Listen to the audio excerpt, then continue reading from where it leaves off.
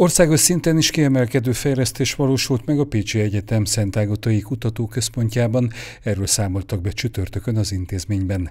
Hétköznapi nyelvre lefordítva a kialakított rendszerben a betegségek, elváltozások hatékony genetikai feltérképezésére van lehetőség.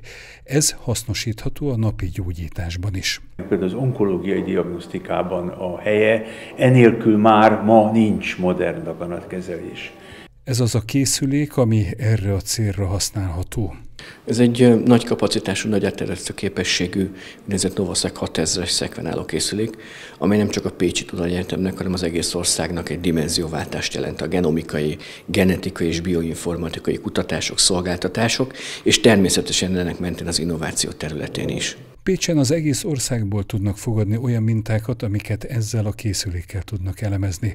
Az információk a napi gyógyításban a személyre szabott terápiák kialakításában jelentenek nagyon fontos alapot. Két nagyon fontos terület van, az egyik az, a veleszületett örökletes betegségek, a másik, illetve a szerzett szomatikus tumoros betegségek.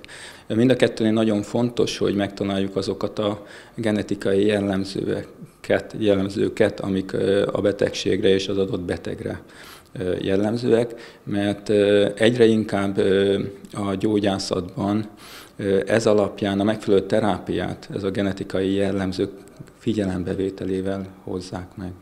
Korábban ennek a genetikai háttérnek a feltárására külföldi intézetekbe kellett vinni a beteg mintákat. Mostantól ezeket a vizsgálatokat el tudják végezni Pécsen, ahová az egész országból szállíthatják a szükséges vizsgálati anyagokat. A kutatóközpontban közel egy milliárdos beruházással szerezték be az ehhez szükséges berendezéseket, informatikai rendszert.